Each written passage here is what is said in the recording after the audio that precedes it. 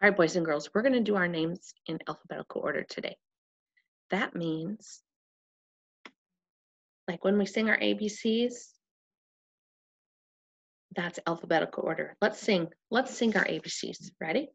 A, B, C, D, E, F, G, H, I, J, K, L, M, N, O, P, Q, R, S, T, U, V, W, X, Y, and Z.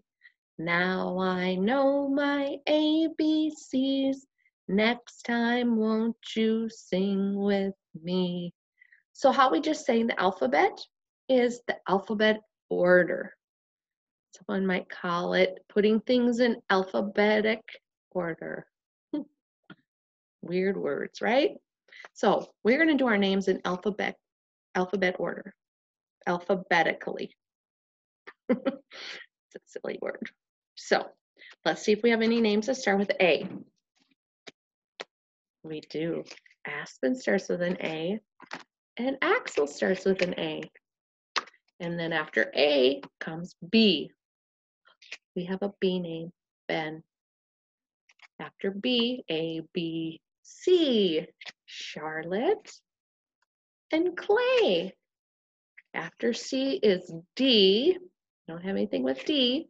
And then E, F, G, none of those, H, Henrik, I, J, mm -mm, K, yeah, that's a K, Kashton's with a K, and Kellen's with a K.